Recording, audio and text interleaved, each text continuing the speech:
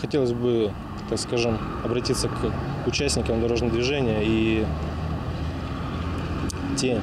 э, заторенности, которые, те пробковые ситуации, которые в настоящее время будут возникать, э, стоит немного переждать, и мы в итоге получим э, идеальное практически дорожное покрытие.